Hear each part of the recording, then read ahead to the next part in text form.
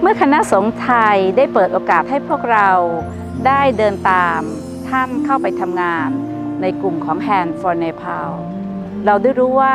ที่ใดที่มีความยากลำบาก และสิ่งนั้นถ้าเรายังมีใจที่จะเข้าไปให้ถึง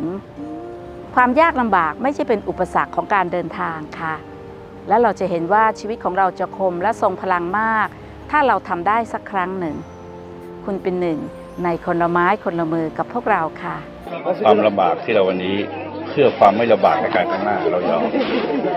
ความเหน็ดเหนื่อยในวันนี้ เป็นความเหน็ดเหนื่อยของผู้ให้มีความสุขเป็นรางวัลลำบากในการเดินทาง แต่ไม่ลำบากในการทำงานเลยเพราะทุกคนที่เดินทางมาในตัวเบา ตัวเบาหมายความว่าเราคิดจะให้ คิดจะทำให้แล้วเบาแต่คิดจะเอาแล้วหนะ นี่เราล้วนแต่มีหัวใจให้ถอดร่างกายไปแล้ว มีแต่ใจทำงานด้วยใจ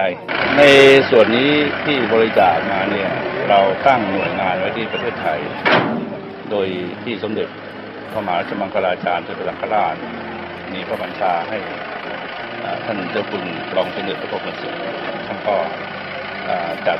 หน่วยงานรับบริจาคจากไทยพึ่งไทยจากสถาบันพุทธวิทยาวิทยาลัยจากญาติโยมทั้งสายอินเดียมีฟาร์มโดยส่วนหลักๆเลยนะทำบริจาคไว้ขนาดนี้ก็ได้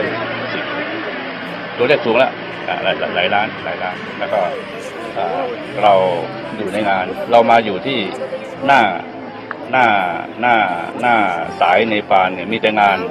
ส่วนเรื่องของเงินนั้นน่ะก็ประเทศไทย ดูแลส่งมาตามกำลัง มีความสุขเล็กๆในใจฉันอืม